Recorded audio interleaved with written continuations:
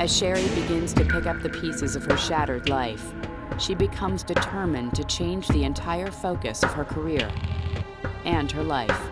And what I decided from them denying everything and leaving me is that I'm going to devote my legal career to representing children in custody cases that have been sexually abused. One recourse victims of child sexual abuse have is to sue their perpetrators. Shari Karney was one of the very first people on the national level even to discuss the issue of remedies for adult survivors.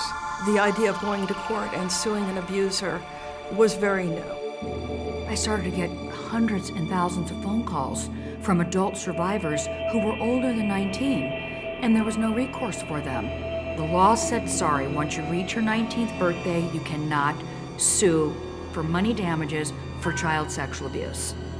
That's when I realized that the law had to be changed.